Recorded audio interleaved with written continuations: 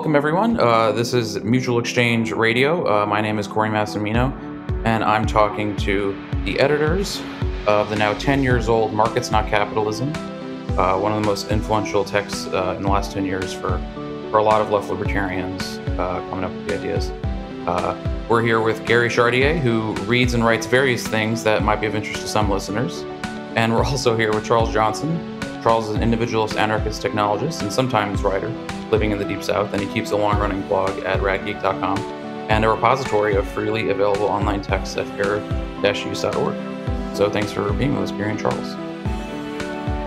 Thanks for taking your time to talk to us about the 10 year anniversary of a book that was very influential on me and, and really most most people in, in the political orbit I know, I would say, by far, uh, more than a lot of recent texts, uh, I would say. And so that's why I really wanted to sit down and kind of talk to you all 10 years later. Um, what do you think of it and, and, and how its legacy has shaped things? So maybe we can start. You can just, I assume most listeners will have read it. Uh, if not, um, they should, and we'll surely include the free link too, so people can read it.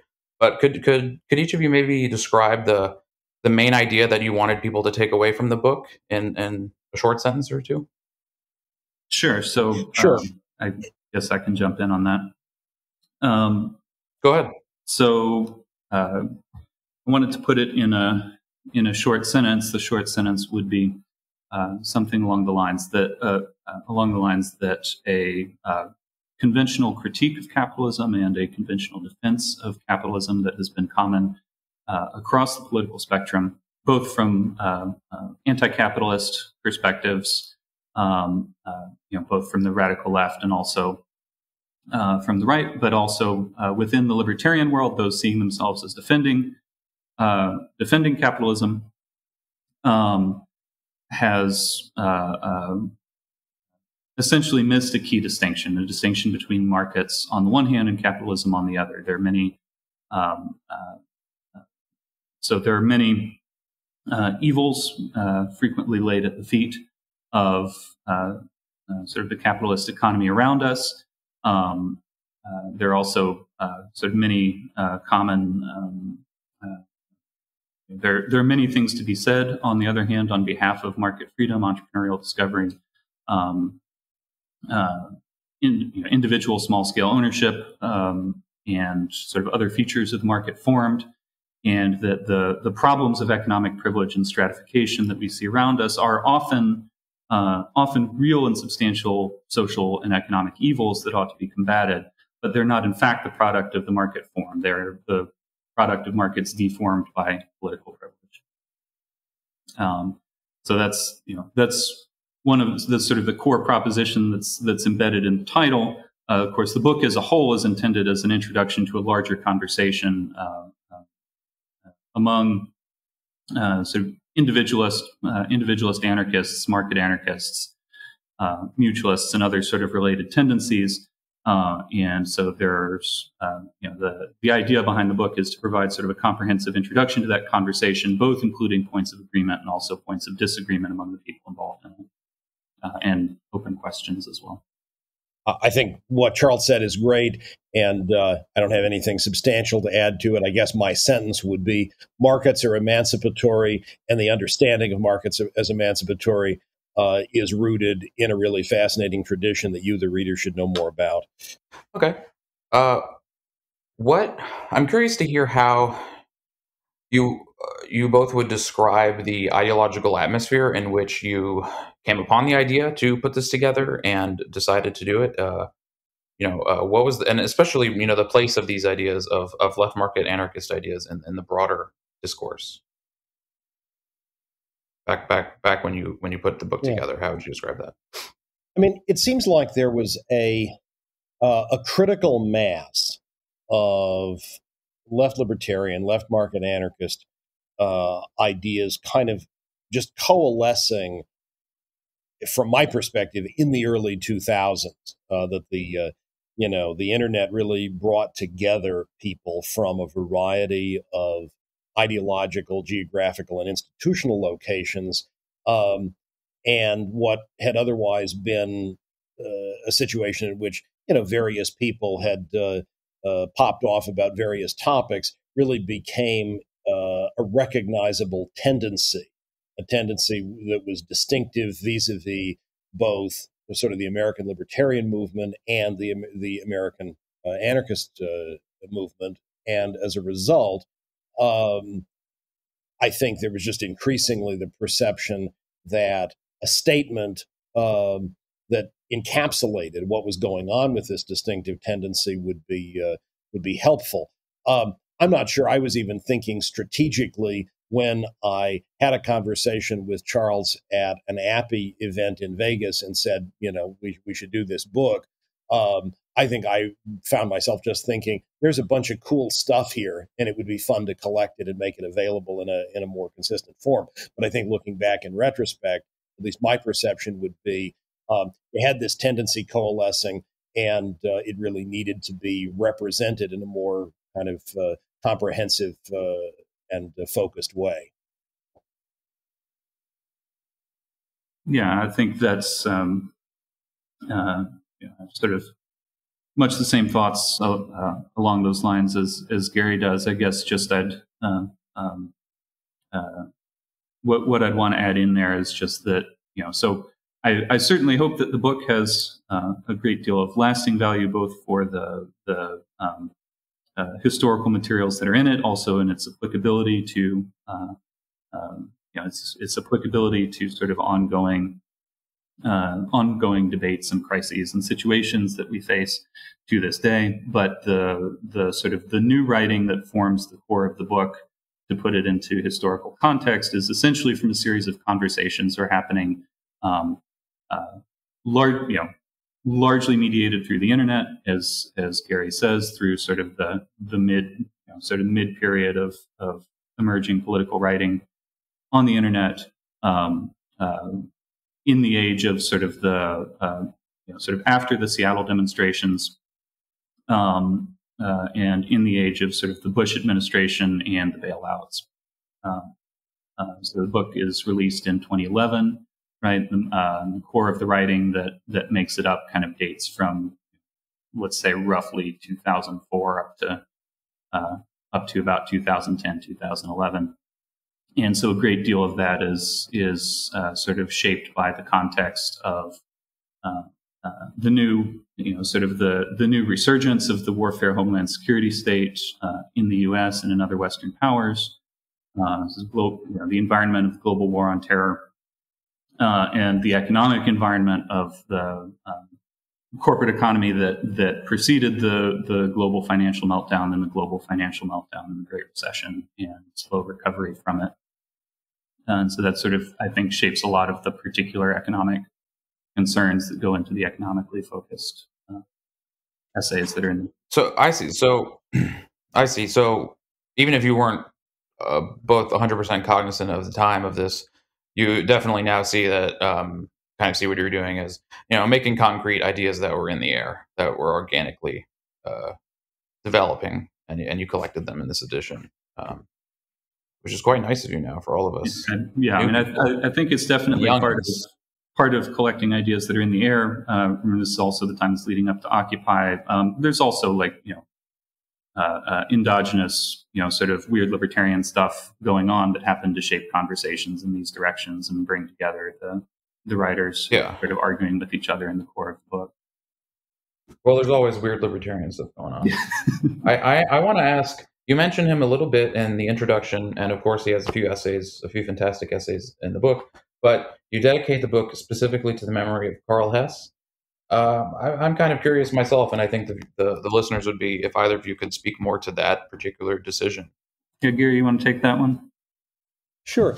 So, uh, my, you know, I don't remember an actual conversation about this. I remember uh, uh maybe just, uh, uh, yeah, it's it's interesting to to try to remember how how that ultimately came about.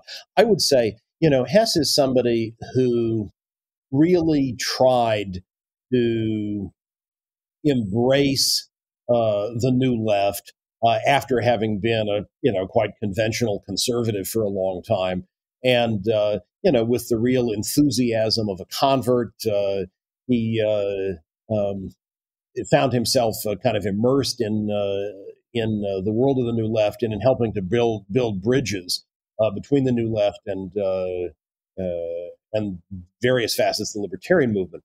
It seems to me that while the uh, American old left, with its Stalinist uh, associations and, and so forth, was uh, or or Trotskyist for that matter, was really uh, you know probably not a natural partner for libertarians and market anarchists. the New Left, with its commitment to decentralization and uh, openness to experimentation and uh, willingness to see uh, economic and social arrangements as opening up space for inclusion of uh, uh, you know various previously marginalized groups. Um, and it's just kind of instinctively anti-authoritarian attitudes made a natural partner, uh, I think, for for libertarians in the '60s and and '70s. And I think it was, you know, of course, very unfortunate that uh, the attempt to maintain that partnership didn't persist. I think Hess was a guy who kind of exemplified uh, the uh, goal of bringing many values that were kind of recognizably associated with the, with the New Left uh, into the libertarian movement, and at the same time linking the libertarian movement uh, with the New Left. Plus, I have every reason to believe, uh, not having known Karl personally, but just based on what I've read of his, but what I hear about him from others, that he was both a very creative and a very decent guy, and uh, and someone who was uh, uh was admirable in that way. So I think he he both uh, represented a uh, an actual historical tendency that I think we we welcomed, and at the same time represented just a kind of personal you know, per, he he his his personal narrative, I think, was was also one that was uh, was more appealing than not. It's uh, it's interesting to me that because you you you mentioned how Hess was a conservative, came from that background, and it's so it's kind of funny to me because my understanding is both of you came much more from the left wing, although perhaps different flavors of left wing backgrounds, and then only later came to kind of meld your ideas with uh, you know some of the the libertarian ideas about markets and, and, their use. So it's it's actually fitting. It seems maybe the reverse of Hess, both of you, to dedicate it to him. Yeah. so um, um, Charles, uh, that? Yeah. yeah. So like uh, uh, you know, one of the one of the things that's that's really notable, I think, about Hess's development in the '60s. You know, when uh, as I think Jerry Jerry Tuccille talks about, sort of, you know, look, there's Karl Hess breaking the ideological sound barrier. Um, uh, is this this you know shift from Republican speechwriter uh, to you know uh, having uh, I, I, wouldn't I wouldn't swear to the claim that he coined it, but at least one of the first appearances of the word anarcho-capitalist uh, that that anyone can find mm-hmm. in print.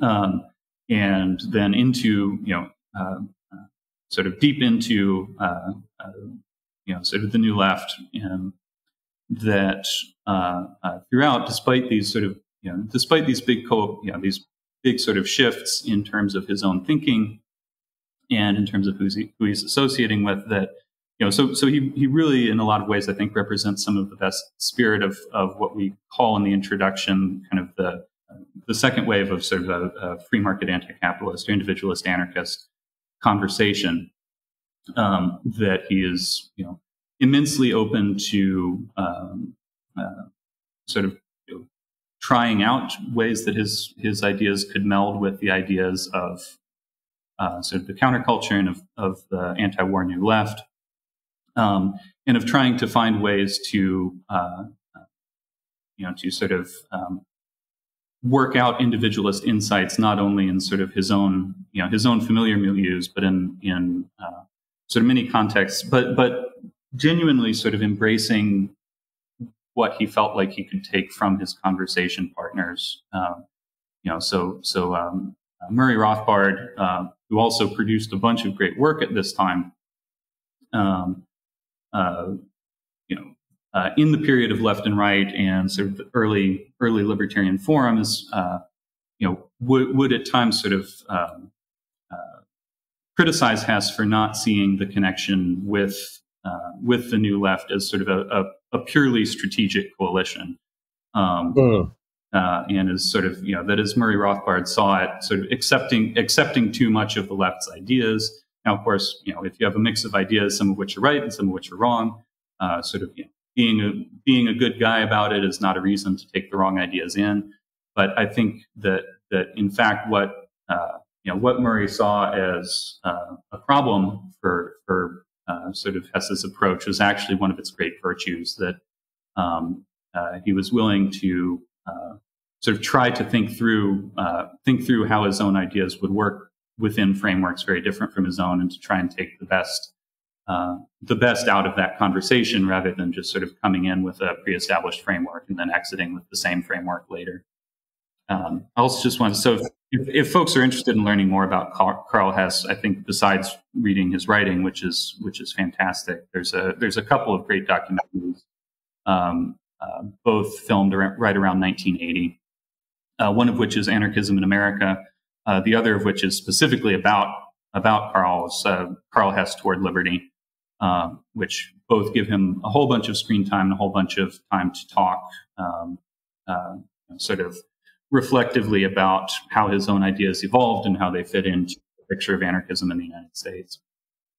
Um, what is did, did I'm I'm really curious if when you both were sitting down and and and developing the idea for this book, uh, I mean, you kind of talked about this maybe a little bit, but I'm curious more specifically if if you did have any real explicit goals um, in the, either the short or long term with putting together such a collection, um, or if or if uh, maybe you didn't think about it like that.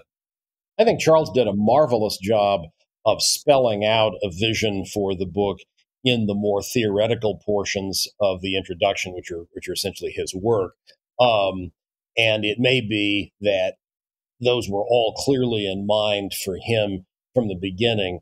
Um, for me, I think it was more a matter of just thinking, uh, this is cool and interesting and hasn't been done elsewhere. Let's do it. And uh, uh, kind of letting the the uh, shape and the focus of the uh, of the collection emerge as we as we put it together. Uh, and so I don't think there was perhaps as much ideological self consciousness as there might have been uh, on my end. But uh, Charles can perhaps speak to a different experience. I'm, I'm, I'm immensely honored by, by Gary's kind words about that. I, I, think that a lot of the practical impetus in, in my recollection, Gary, you can feel free to uh, you can feel free to put me straight if I'm misremembering any of this. But um, you know, I, I, certainly remember a lot of the practical impetus for it coming from Gary. I'd been you know sort of um, fiddling around for some time at this point with uh, uh, essentially producing, you know, like um, the Market Anarchy zines, the Anarchist Classic Series yeah. zines, and sort of small, small printed materials aimed at uh, sort of trying to assemble like a little bit of a, a, a, you know, a little bit of a library that that folks could use, you know, like at a book table or just hand out. Um, that contained a lot of the essays that ended up going into this, and it sort of played around with the idea of trying to put together a larger anthology. Um, yeah, Gary really, you know, sort of approached me after the APEE event and uh, um, sort of really drove home, I think, the value of of moving on this and getting it put together. Um, Gary, I think, I think, in fact, wasn't it that you had a, a, class coming up that you wanted to use it as a reader for? Interesting. I don't. I'm not sure whether I did that. There's a class that I did for which it would have been appropriate as a reader, but I don't. Yeah, I'm not. Your memory is, uh, I'm sure, better than mine here. Uh, I can totally see it as a reader for classes in general and for one of mine in particular, but I don't remember exactly how I how I included that and what mm-hmm. I might have said. Uh, but yeah, no. So and, and so you know, we we had a certain amount of work that was already done for us just by having sort of a big selection of stuff that had either gone into like the gone into the zine series or gone into sort of other small uh, sort of small DIY publishing projects. You know, Gary sort of you know, brought me a, a, list of stuff that he was already, um, you know, that he was interested in, um, and and throughout kind of the whole the whole process of giving the book uh, a shape and a structure was was sometimes a matter of you know like trying to um, uh, trying to sketch out some plans and writing out the introduction and seeing what would go along with the direction that it was taking as as it took shape. It, a, a lot of it was also always just you know the the necessary process of sort of getting the scalpel and cutting stuff down. So we had probably about twice as many pages of stuff that, that we would have liked to put into the book than, than what we ended up with. And we just had to kind of figure out like, you know, given that we have to cut X, Y, and Z, what kind of uh, what kind of organization would would help us sort of rationalize that choice? And then once we've done that, you know, like uh, sort of what makes sense as as a way to sort of uh, organize the book, and what makes sense as a way to sort of think about sort of how we're progressing from chapter to chapter.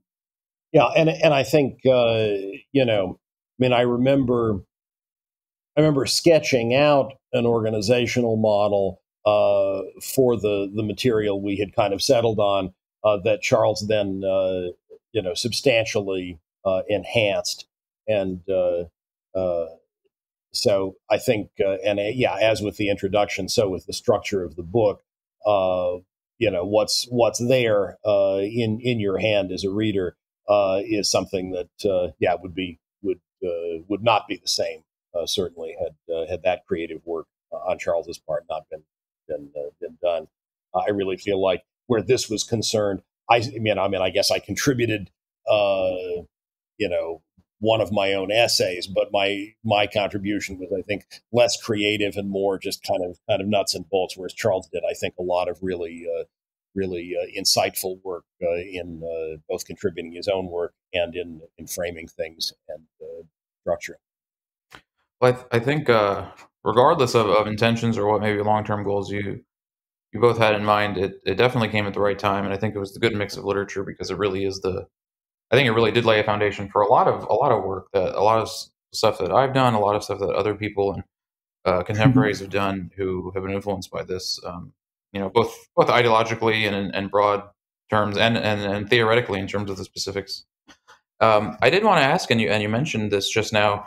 Charles, uh, but either you can speak to this depending on your memories.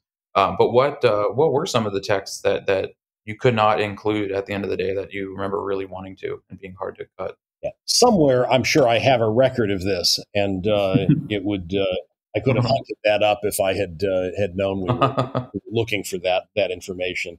Um, some of it's on a computer that's not immediately accessible to me, and some of it would be an email I'd have to hunt uh, hunt for. Okay. Well, um, yeah, the the stuff the stuff that tended to get uh, the stuff that tended to get um, cut out to my recollection was was either stuff where we um, uh, you know there were essays that that we really wanted, but we also wanted to make sure that there's sort of a um, a range of views. For example, in, in, you know the the ownership section of the book, which I think what about four or five essays we ended up with. Um, there's a great deal more that that we would have wanted to include. Um, some of it by Roderick Long, some of it by other authors on um, uh, property rights, the topic of property rights in general, and sort of common and and uh, intellectual property in particular. That that ended up kind of um, uh, falling to the wayside and in, you know uh, sort of essays from deeper in the historical tradition as well.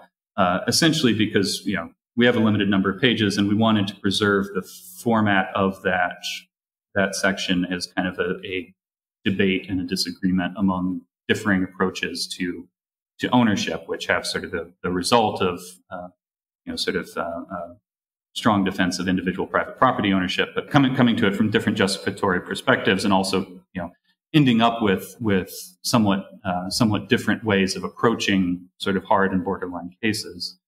Um, there are also uh, there are also a, uh, a, number of essays on um, uh, environmental uh, civil rights, uh, anti-racist and feminist, feminist and gay liberationist activism that um, would have been really good in the book, but you know uh, we're sort of uh, running out of pages at the end of the book, and and we you know had some material in there and had to go with kind of what we had. It's funny you mentioned the the desire to have had more essays, in particular by Roger Long in the ownership section, because I'm looking at it now, and he already has two essays yeah. of the five in that section. One of them uh, being, as you mentioned, the libertarian case against intellectual property rights, which is probably my favorite single essay mm-hmm. on that issue. Yeah, I mean, I, I there are definitely if, many good ones it, to have included. Yeah, if if it were possible to do so, I would have been happy to have you know, uh, a whole book that's just on sort of property rights disputes. Yeah, Yeah. Yeah. Um, and yes, I, I have I have often thought about because I think to get a, a, a bit a bit of a fuller picture of the whole ideological discourse surrounding this book and the writers and and and the ideas it spawned, um, you would uh, there would be you know maybe a part nine on what you were just saying about uh, how these issues interact with with anti-racism and with feminist causes and, and, mm-hmm. with, and, with, queer liberation causes. You have some of that in here. You have Sheldon's great article, Sheldon Richman, Libertarianism and Anti-Racism. Mm-hmm. And you have a couple good environmental pieces. But uh, but I but I definitely see how you had to keep it down and, and narrowed it to to more specifically economic uh, topics and concepts. Yeah, maybe so, there's room yeah. for a second edition. For another book. No, exactly.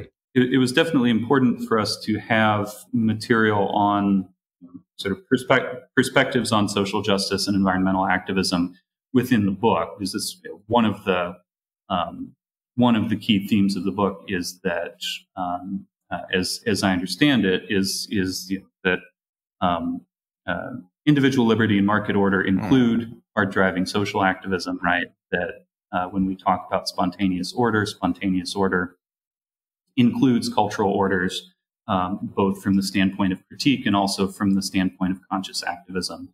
Um, and you know, so uh, the the material the material that's in there, uh, we definitely sort of wanted to make sure at least some of it is in there uh, in order in order to indicate yeah, that, you know, there there are, there are further conversations within individualist anarchism that this can lead on to uh, that are not that are not sort of simply precluded because you know we have to talk about the land monopoly or something like that.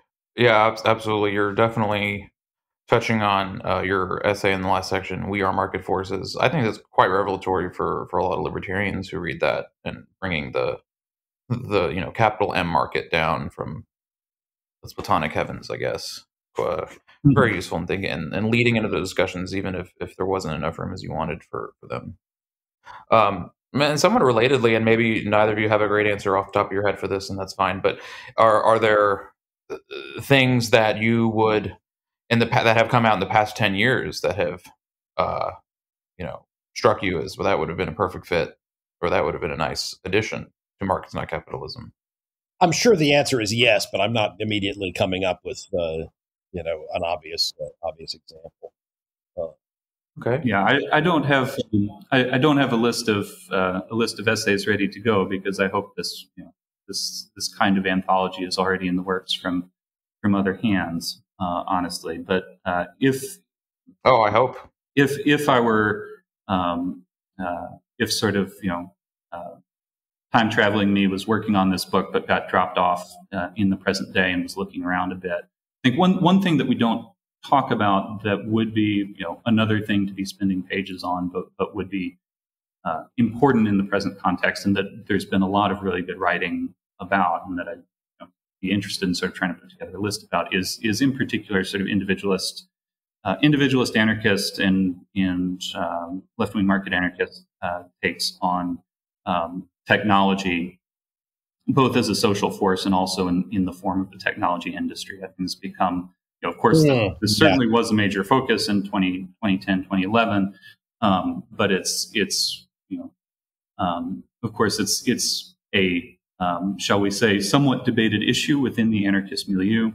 Um, uh, and it's also, I think, a really important issue and an issue that's core to a lot of the most interesting conversations right now around capitalism and, and uh, market society.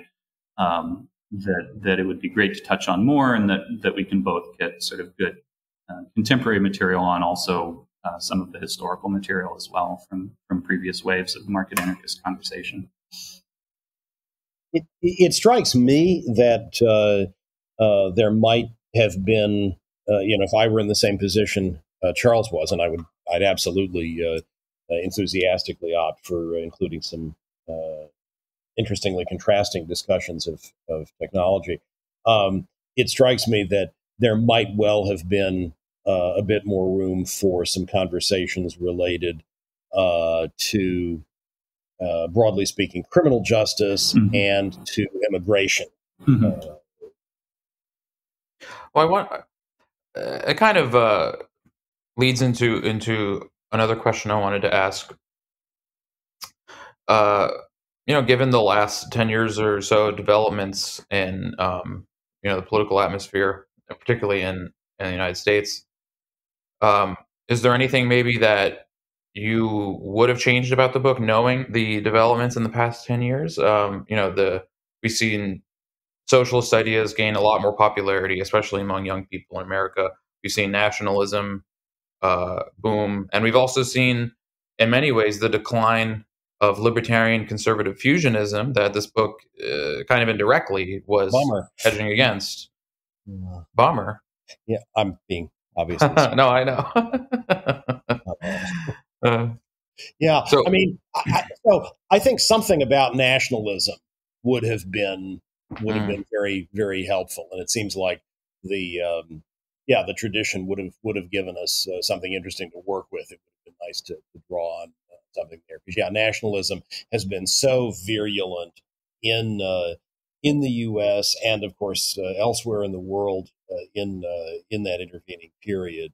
Um, yeah, that, that my I mean, so I think the topics we've already addressed of uh, of technology and uh, perhaps also crime and and immigration, all appropriate. All you know would have been nice to see things there because of the importance those topics assumed in the intervening period. But certainly something about nationalism uh, would have uh, helped to set the stage for uh, you know encounters with um, you know people with uh, sort of incoherent uh, ideological packages like national anarchism, uh, you know, and folks who want to provide various sorts of anarchist justifications for what are really just straightforwardly nationalist programs that I think we want to reject.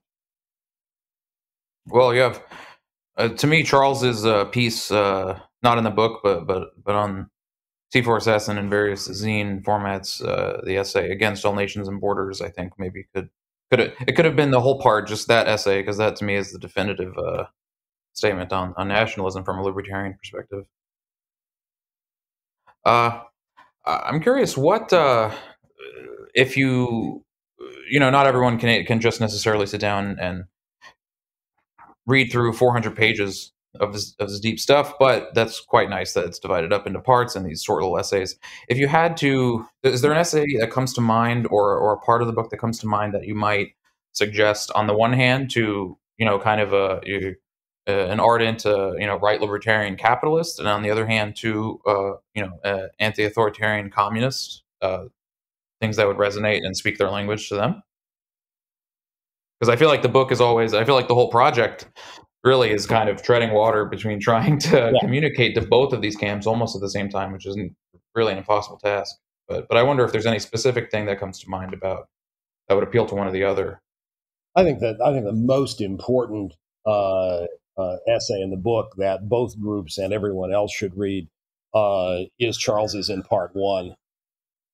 Uh, so I, th- you know, I think that that um, I mean, you know, so di- what people should read depends on what they're interested in, and there's a bunch of different stuff because people come at this from many different directions. I think for right libertarians who have an interest in history, um, Roy Childs' Big Business and the Rise of American Statism, Mm. is uh, Mm. a really nice and useful synthesis that that provides, you know, sort of one of the best ways in the book of just sort of understanding what's going on with with the rest of their book and and starting off from you know a really brilliant guy who's um, uh, uh, effortlessly speaks the language of his of his fellow sort of laissez-faire libertarians.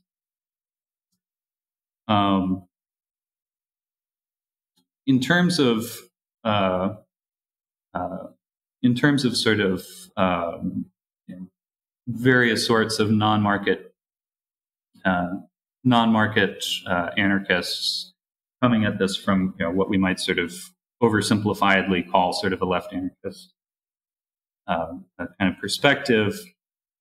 Um, you know, I don't know. I think that that um, uh, Voltairine de Cleyre and Rosa Slobodinsky's uh, pieces, The Individualist and, and the Communist, a dialogue, and then uh, de Cleyre's A Glance at Communism, are um, not not sort of the one stop shop that I'd recommend, but they're a good way of getting oriented with how this fits into the fits into the broader tradition.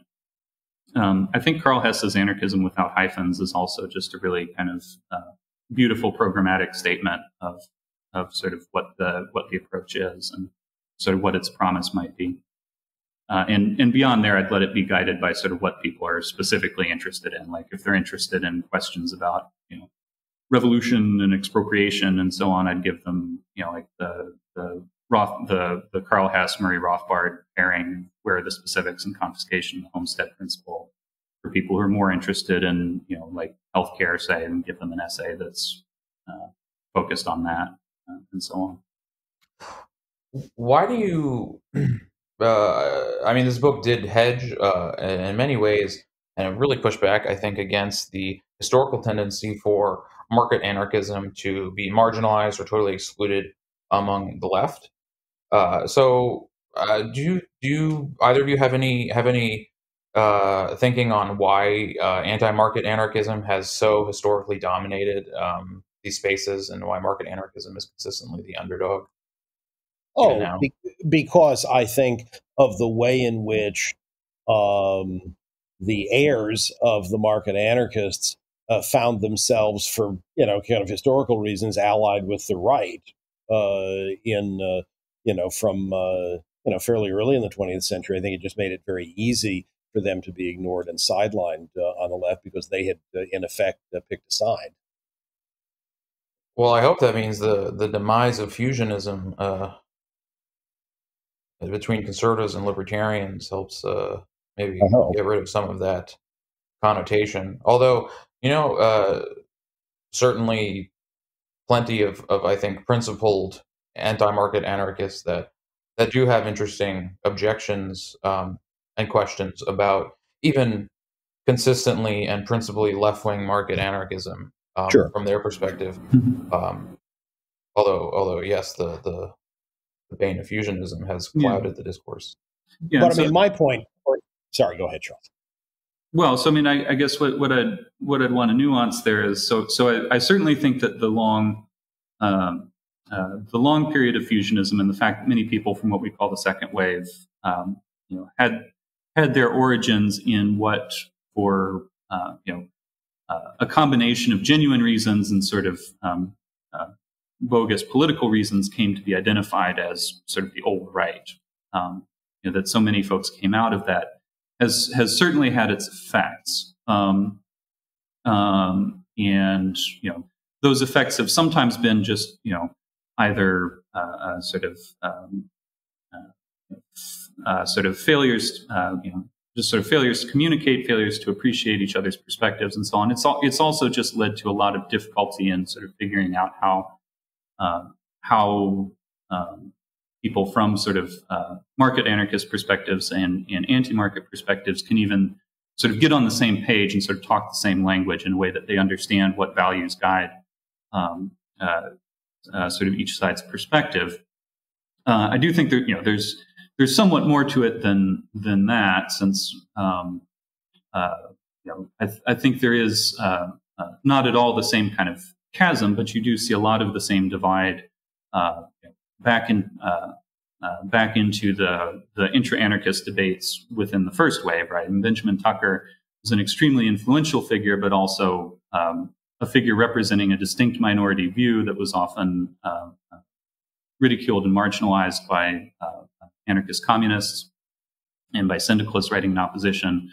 Um, and part of that, I think, is is just due to substantive disagreements between them. Part of it is also, you know, and Tucker Tucker is great. He's he's an ornery guy who likes to pick fights, um, uh, and uh, his his resolute determination to uh, read any you know read anyone who differentiated from the from the uh, Tucker plumb line on on property and so on to read them out of the anarchist movement led to a lot of sort of you know uh, dynamics of, of kind of reciprocal excommunications and so on. Um, but there is, you know, there there have also been um, uh, there have also been plenty of real difficulties that come from the the left side of the ledger that you know um, uh, uh many anarchists historically have been have come to anarchism and and uh, been sort of committed to anarchist principles by uh, you know through a route that that you know sort of took them through the uh, the swirls and eddies of the communist movement um, uh, or of non-communist labor movements. Um, this often made them sort of more more interested in and more predisposed to uh, sort of understand the perspective of um, broad anti-capitalist critiques um, uh, than they were to uh, be interested in or sympathetic to uh, sort of critiques that attempt to salvage and defend particular aspects of real world market forms. Um, in the uh, in more contemporary debates, the the role of uh, the role of the ecology movement and of sort of green anarchism has has made a lot of really I think positive contributions to to anarchist thought, but it's also um, you know it's it's also led to um, uh, the development of you know sort of um, uh, a number of sort of primitivist and anti-civilization other views within anarchism that that I would uh, I'd be flatly happy to say are more or less incompatible with uh, most reasonable versions of market anarchism. Uh, sure. Markets are a feature of civilization. Um, uh, sort of market anarchism has within it uh, sort of commitments to modes of uh, modes of production, modes of life that are very hard to square with deep ecology or primitivist viewpoints, uh, although they certainly have uh, environmental concerns.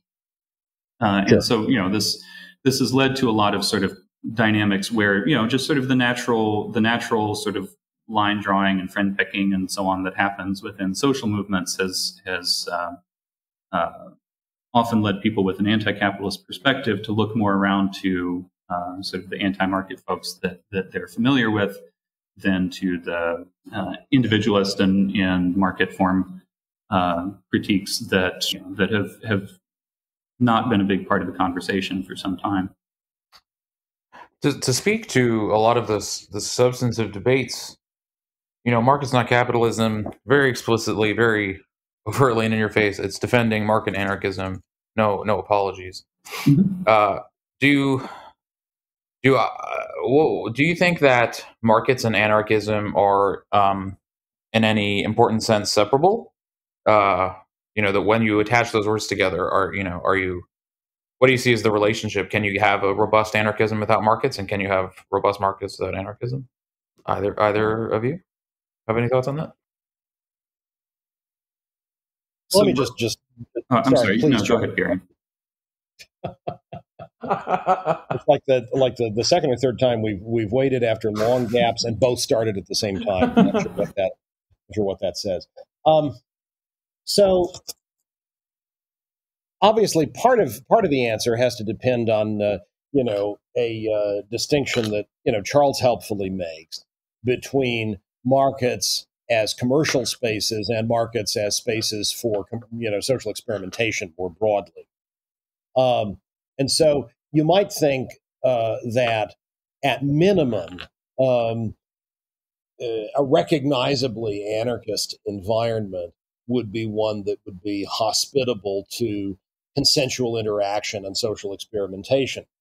Um, you might go on to think then that this would necessarily leave space uh, for markets in the in the narrower sense but it might be in you know in a particular kind of anarchist uh, society that nobody chose to uh, to pursue uh, the option of uh, you know developing uh, uh, you know patterns of, of commercial interaction. Seems to me it's a pragmatic question. Finally, how we organize economic life, and I my own view is that you know there's a great deal to be celebrated about the achievements and the potential of uh, markets in that in that narrower sense. But I certainly wouldn't want to say if somebody described an anarchist society that was genuinely open to consensual interaction and social experimentation, but from which, as it happened, there uh, there wasn't uh, uh you know market interaction in that narrower sense, and people tried to to mount uh, different kinds of economic arrangements. Uh, I might be skeptical about the long term potential there, but I certainly wouldn't want to say that's not an anarchist society. Yeah, so I, I, guess I just want to add. So, so you know, um, uh, one one of the aspects of the distinction that that Gary points to in in that essay of uh, between um, this is from markets freed from capitalism, right? Uh, in which I talk about a distinction between markets as as commercial exchange or as a cash nexus versus markets as um, uh, sort of a, a, a, space of sort of maximal consensual social experimentation. Um, is that there there's also you know there's sort of a distinction to be made there between um, sort of markets in the sense of a of a historical institution, right? A series of of um, a series of places and a series of social conventions of people meeting, uh, as against you know sort of uh, uh markets in the sense of an idealized set of norms that that we as market anarchists defend. Um, and so markets in the historical sense can clearly be distinguished from from anarchy um, simply because you know like we've had markets a really long time um, know, hampered uh, hampered unfree deformed unattractively stratified markets um, but they are you know, recognizable as the sort of thing we're talking about when we say market. Um, and so we've you know we've had markets historically. We haven't had a lot of anarchy. Um, uh, and so, you know, you can you can have one thing and not the other. You could uh, mount various various kinds of defenses other than the defense of sort of the, the idealized norms that that we talk about.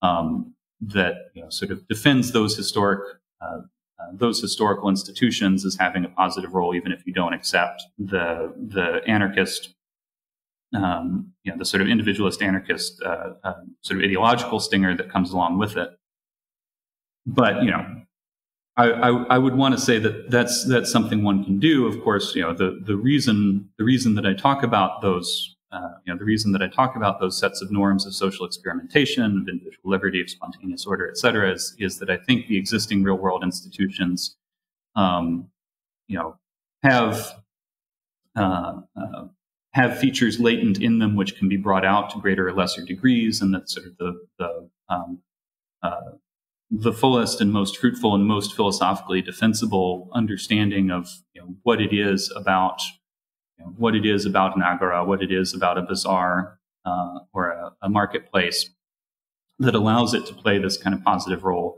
is something that followed you know followed to the end of the road ultimately should lead to a, a fairly robust form of, of uh, should lead to a fairly robust form of individualist anarchism in terms of you know sort of its uh, its guiding norms and principles and ideals. A lot of markets not capitalism is, in, in a strict sense, value free in the sense that it is largely economic discussions, draw you know drawing theoretical connections between between various social structures and governmental structures, and thinking about the way incentives and institutions shape the the the kind of uh, forms of cooperation that we engage in. So I'm curious, what if you know, and and and and so they kind of go along with broader, uh, you know, less value free, you know, more ideological um, visions of the world um, as an egalitarian um, place. So, but I'm curious, what what what what is the proper response, and what you, what should be done if maybe it turns out in in the final analysis, um, you know, some of these arguments don't really pan out. That maybe I think one of the better I think one of the better questions to ask about this book, like Markets Not Capitalism, is that well, it makes a very compelling case that there are a lot of informational and incentive distortions in capitalism, and that can be usefully separated from markets in theory. But what if it turns out that uh, some of these predictions are wrong, and that you know, perhaps specifically, that when you really compare the informational and incentive dynamics of modern capital institutions to you know hypothetical you know uh, freed market uh, stigmergic worker cooperative stuff like mm-hmm. that uh, when you compare what if it turns out capitalism capitalist markets as opposed to anti-capitalist markets still fare a little better and still might be chosen more often by free people mm-hmm. um, you know you, there might even be a case that i think that the capitalist as an economic function uh, could play a role in the division of labor as, as which mm-hmm. which this book you know wholeheartedly does not reject um, and in terms of uh, savings and consumption and bearing risk um, that that workers then don't have to so so how do you how do you think about these uh, ultimately empirical questions and how they mm-hmm. relate to your broader ideological vision and goals yeah so so if if it helps Cory i guess um, you know, one, one way one way to think about this, hope you know, sort of using using the title of the book in a sense is part of the reason that the title of the book um, aims to make this make this you know sort of big distinction. You know, markets, not capitalism, right? Distinction between markets on the one hand, capitalism on the other.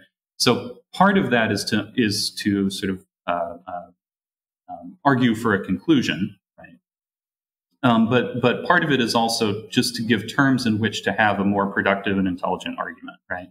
And the the argument that that we're interested, um, uh, the argument that a lot of the argument that we're interested in having is uh, specifically to conceptually differentiate markets from capitalism because we want to uh, we want to know whether it's uh, whether it's true or false that markets cause capitalism or, or that markets inevitably lead to capitalism, right? Two two different claims there, one of which is much stronger, right? The uh, sort of a, yeah. a way the world actually works sort of claim versus a way the world necessarily has to work claim. Um, but in either case, so we have this question do markets cause capitalism? Individualist anarchists uh, historically have often argued, well, no. Um, uh, you know, the, the historical evidence for this is really weak. There's lots of historical evidence on the other side, uh, uh you know, of, of the sort developed by you know, new left historians, also by libertarian writers. Um, you know, there's uh, you know, there's sort of a, a very you know, there's sort of a, a big and helpful body of sort of economic work on knowledge problems and incentive structures created by state monopoly and so forth that we can avail ourselves of. Now, um, but it is at the end of the day an empirical question, right, as as to whether whether or not it is the case that that market forms uh, produce capitalist outcomes. Um, uh, now, if we are, um, you know, the the um, if the view that is that is taken from different perspectives in this book that uh, uh, markets do not produce, but in fact can actually undermine capitalist outcomes when fully freed. If uh, if that you know if sort of the empirical uh, free market anti-capitalist claim, um, um, you know, if that should turn out to be false, right? So you begin by you begin by doing some research to find out whether it's true. And if you find out whether whether or not it's false, um, the the further question is going to be whether there is, you know, whether there are normative reasons. You know, so these would be, um, you know, these would be chiefly ethical reasons, moral reasons, um, sort of social and political reasons uh, to prefer non-capitalist or anti-capitalist outcomes uh, uh, to the capitalist outcomes that you're getting from market forms? Um, and and if so, right? So so if there are reasons to think that like boss worker relationships or landlord uh, tenant relationships are you know, sort of uh, uh, bad in themselves or potentially corrosive of other things that you value, um, uh, even though they do tend to come out from free market uh, forces. Again, this is, is arguing under the assumption that we're just wrong about the empirical question um, you might still take the normative view. And in fact, I do take the normative view that, you know, like if these things are sort of uh, bad and corrosive to other values, um, that's not a reason to reject market norms, but it is a reason within market norms to try and bring about uh, uh, to bring about alternative social outcomes, um, you know, through grassroots activism, right, through the exercise of of uh, individual liberty and liberty of combination. Uh, and so, you know, on, on this, I'd kind of point to another kind of pair of essays, the, the um, uh, in part eight, the uh, essay Regulation Red Herring, and then my essay Weird Market, uh, which is by Sheldon Richman. It's a wonderful essay.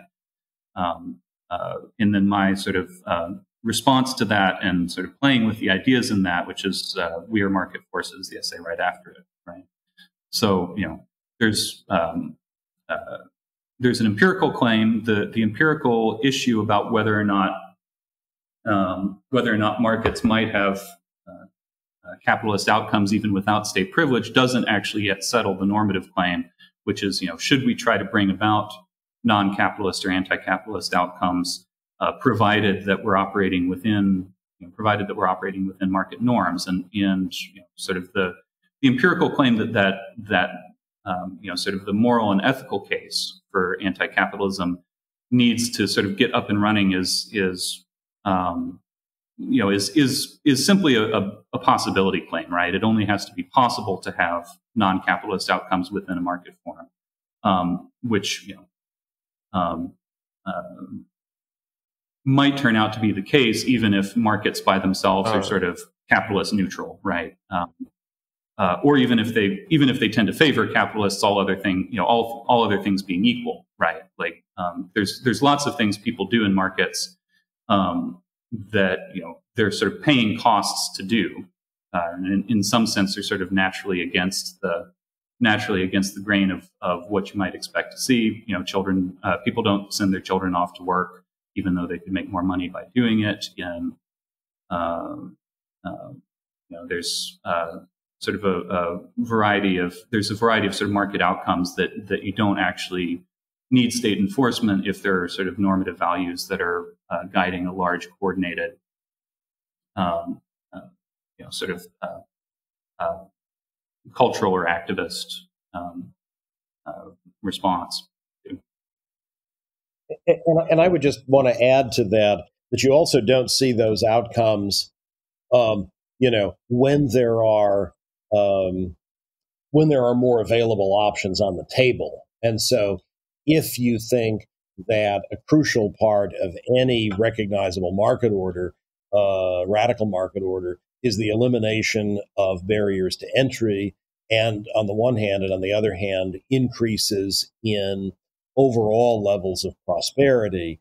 Uh, for both of the, you know both of those factors are present, then uh, people unavoidably then become freer to opt out and try alternatives. That doesn't necessarily mean in any given case that that's what they're going to do. But thinking, for instance, about the uh, uh, the child labor issue uh, that uh, Charles raised a moment ago, you'd expect that people would, you know, if that's not something they prefer, uh, they really would be much freer to to make trade offs given barriers to entry into the, the reduction in barriers to entry into income generating activities and the overall uh, uh, you know level of prosperity so that they're you know we're not talking about uh, the kind of desperate poverty that might make people uh, more inclined to make sacrifices of that kind. So it's not just the norms but i think it's the background conditions as well yeah that's that's right um, uh, you know so I, I, think you know like to to help myself to a little bit of economic framework here there are a lot of um, I think there, there are a lot of sort of fairly pervasive features of, of actually existing markets that I would expect also uh, in affluent societies that, that I would also expect to be parts of radically freed markets uh, in sort of uh, future as yet unseen societies.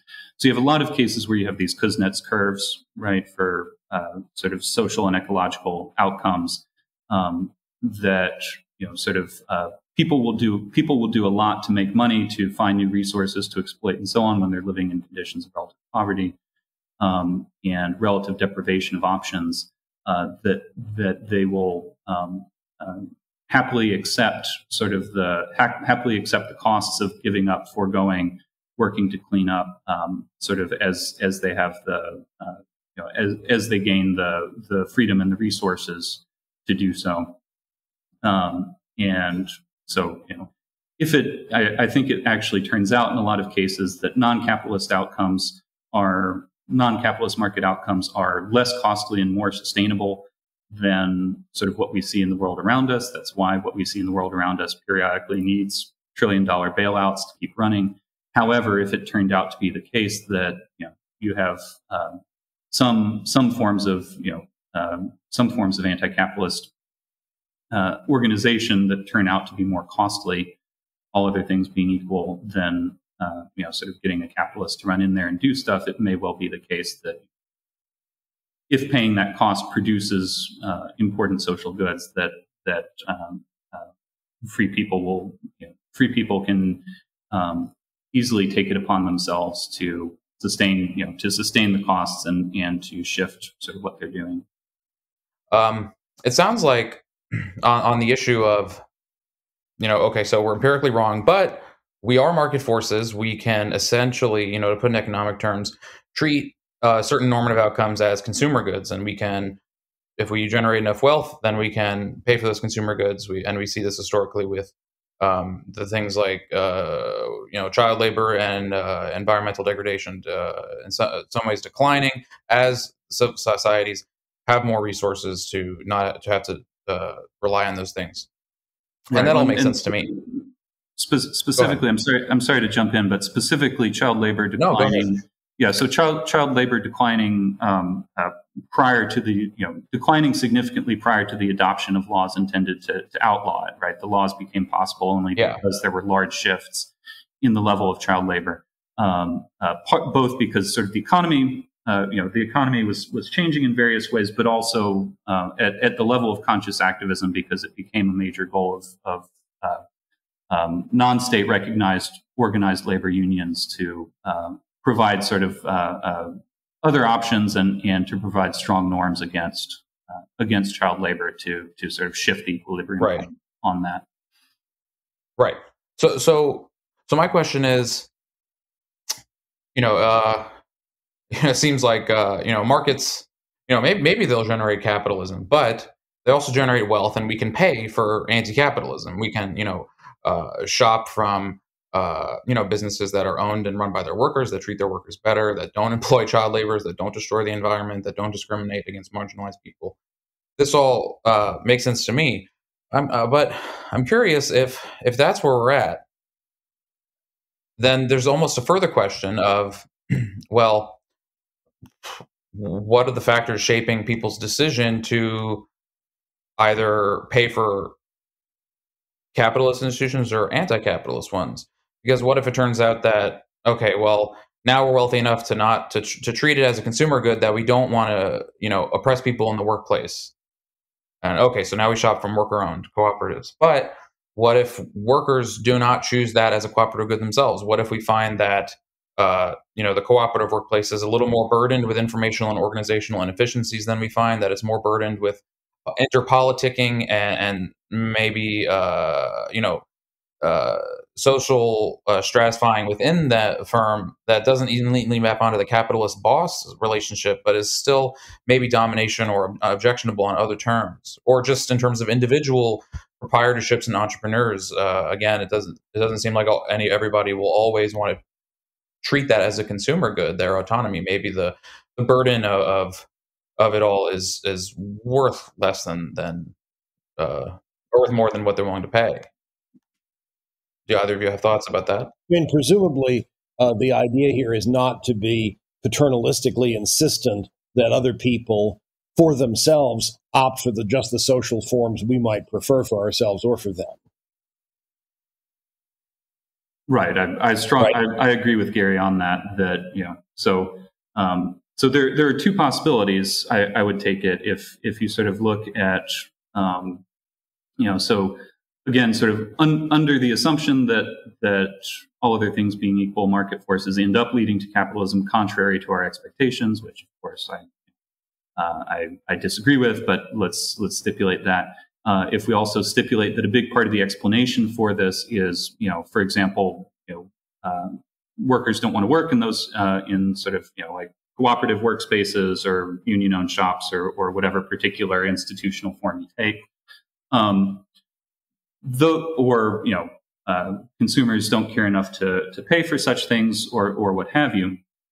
Uh, there's sort of a couple possible ways you could think about that kind of hypothetical outcome, right? That kind of hypothetical outcome might be explicable in terms of cultural preferences that are that are uh, sort of worth um, you know worth negotiating, arguing about, um, reconsidering, or it might be that you know there are sort of real factors in these particular institutions that you know, as as you say, might lead to you know various kinds of internal dynamics. And of course, I do. I you know, they're they are in fact parts of internal dynamics and actually existing uh, co-ops and worker-owned uh, worker-owned enterprises. It may be desirable to uh, it, you know, it, it may be desirable to through you know through sort of processes of of cultural change try to encourage um, uh, you know, try to encourage sort of a, a a broad culture of sort of you know stubbornness and resistance to authority and to sort of preferences for solidarity um, to other kinds of cultural values that that would tend to shift equilibrium points in terms of um, you know what sort of each worker by each worker or each consumer by each consumer is willing, you know, sort of uh, interested in what they're willing to accept and so on. Um, but you know, I, I also want it to be the case that we're, you know, if you're interested in anti-capitalist things and you're interested in sort of soliditarian sorts of things, that um, you know, there's there's room to you know, um, uh, you know, so do your research and listen listen to what folks say about their workplaces and what they're interested in.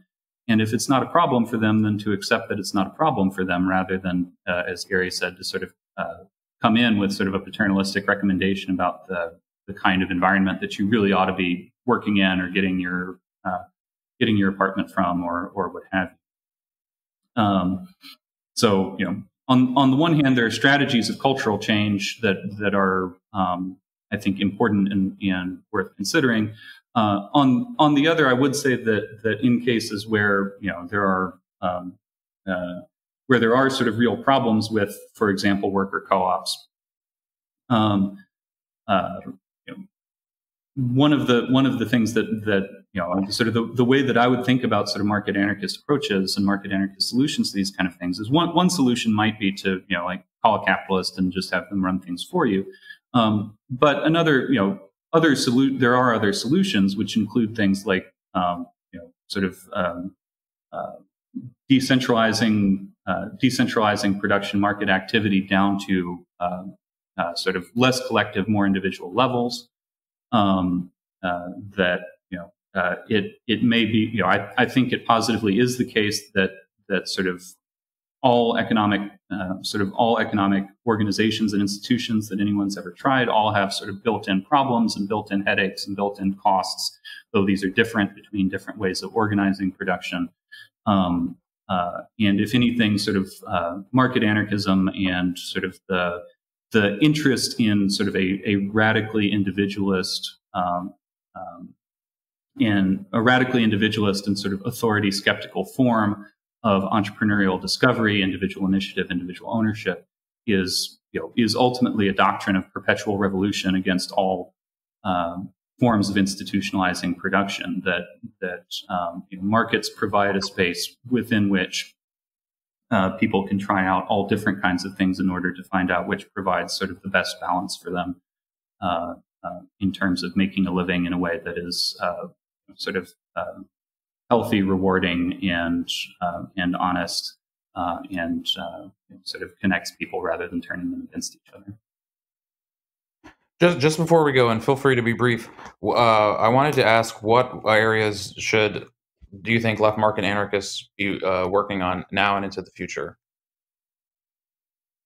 Any specific things that our insights should be applied to? Work on, develop more? Surely we didn't all settle it 10 years ago, even though I do love your book.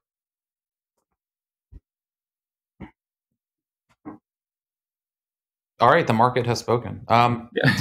okay, I know you have to run, Gary. Uh, thanks so much, uh, both of you, for for joining me and taking an hour and twelve minutes out of your day to talk about this book that you edited ten years ago. Markets Not Capitalism um, has a very interesting and delightful legacy, important to many, and I hope that we can get together ten years from now and discuss the twentieth anniversary. How's that? Excellent. Thanks so much. Thanks a lot, Charles uh, Johnson and Gary Chartier. Take care. Thank you so much, Cory. It's a real honor. And thank you to all our listeners for giving us your time. Join us next month for a new episode of Mutual Exchange Radio, and please consider supporting us on Patreon if you like our work. This month, we'd like to thank our patrons Danny O'Brien, David Colborn, ASDF, ASDF, Acna Derek W., Eric Fleischman, Humanisphere, and James Tuttle. Thanks everyone for supporting our work. We really couldn't do it without you, and thanks again for listening.